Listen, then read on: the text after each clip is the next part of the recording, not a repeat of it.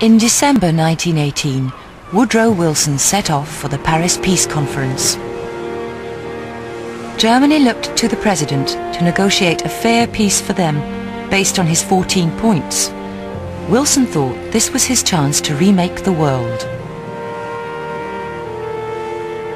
In his 14 points, it said that all peoples everywhere should be able to decide who should rule them. He also wanted to set up an international peacekeeping organization called the League of Nations to prevent another world war.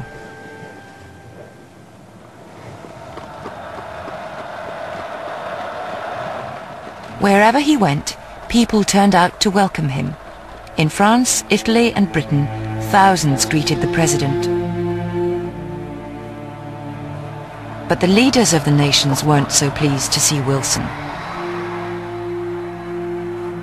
Britain's Prime Minister, David Lloyd George, was afraid that Wilson's plans would mean the end of Britain's empire. The French Premier, Georges Clemenceau, wanted to make sure that Germany could never invade France again, and he felt that Wilson's plans just wouldn't work. Also at the peace talks were lots of the smaller nations. They hoped that Wilson's 14 points would mean that they would gain independence. Delegations from all over the world came to me to solicit the friendship of America. They frankly told us that they were not sure they could trust anybody else. Some of them came from countries which I have to my shame to admit that I never heard of before. Clearly, discussions between the Allies over the peace terms weren't going to be easy. But a solution was needed to end the chaos throughout Europe. Nowhere more so than in Germany.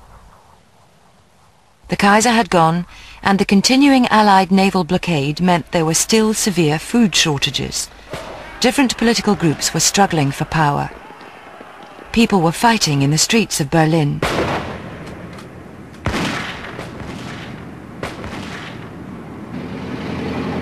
Germany's new government used ex-soldiers to restore order. In just a few days, in January 1919, over a thousand people were killed or wounded.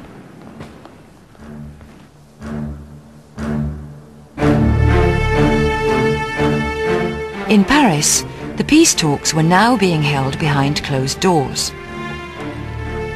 And Wilson was giving in on one point after another.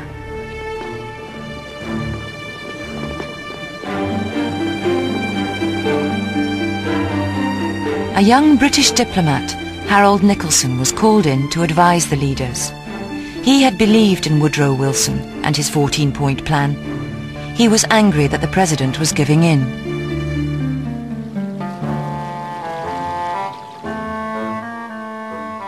The door opens. A grand room with the windows open upon the garden and the sound of water sprinkling from a fountain. Clemenceau, Lloyd George and President Wilson have pulled up armchairs and crouch low over the map. It's appalling that these ignorant men should be cutting parts of the world to bits, as if they were dividing a cake. During the afternoon there is the final revision of the frontiers of Austria. Hungary is divided up, lazily, carelessly. Then another frontier. Then tea and macaroons.